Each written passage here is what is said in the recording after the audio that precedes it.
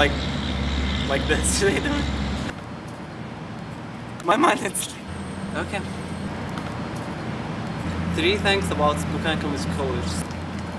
The first of all, uh, teachers are really helpful to help you uh, with your homeworks and they are really nice. Second, students are really friendly. And the third one, you can enjoy a lot of clubs, so that will help you with your English.